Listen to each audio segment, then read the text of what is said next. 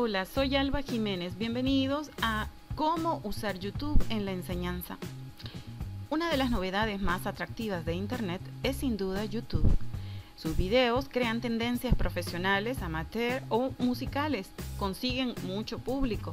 Una de las ventajas de YouTube es que tiene contenido para todos los gustos, con temáticas diversas, que hacen que sus usuarios pasen horas frente a sus computadoras o celulares viendo videos. La pregunta del millón, ¿cómo utilizo YouTube en mis clases? No importa el nivel en el que trabajes, este recurso didáctico puede utilizarse desde la parvularia o jardín hasta la universidad. Recuerden que los recursos didácticos se vuelven importantes a partir de la creatividad del profesor. YouTube por sí solo no tiene mayor relevancia. Desde el año 2005, cuando fue fundado, este servicio de alojamiento de video hasta hoy debe su éxito a la utilización de sus usuarios. Los docentes somos usuarios del servicio, debemos aprender a utilizarlo adecuadamente. Algunas recomendaciones que te doy para usar YouTube en el aula son las siguientes. Planifica tus clases y elige películas completas o partes de ellas para mostrarlas en, en los desarrollos de tus contenidos y apóyate precisamente de ese tipo de videos que permiten que sustentes tus clases a partir de algo que ellos les resulta familiar. Una película, algo que sea muy común y tú extraes exactamente lo que necesitas para fijar el conocimiento de un contenido determinado.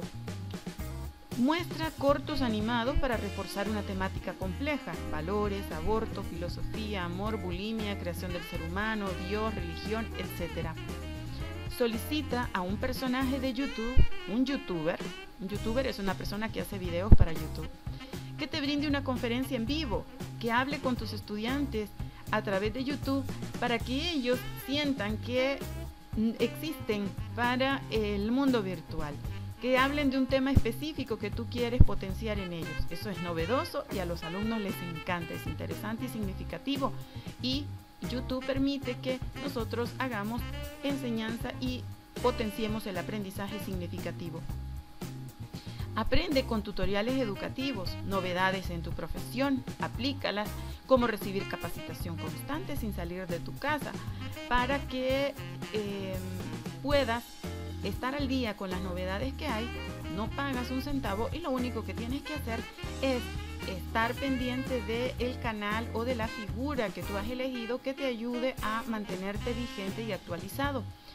Utiliza tutoriales para hacer tus propios videos y pasarlos en clases si es que tienes el tiempo para hacerlo o solicita que te hagan videos personalizados para que puedas presentar temas complejos como hablar del genoma humano, eh, química, física, que son muy difíciles que nosotros podamos llevar las cosas y que ellos las vean, entonces puedes hacer un video o solicitar que te lo hagan o buscarlo en YouTube.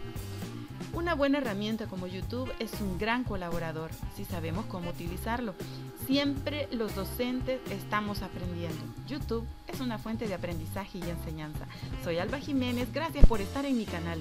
No olvides suscribirte, darle me gusta, un clic en la campanita y nos vemos en el próximo video. Que estés muy bien. Chao.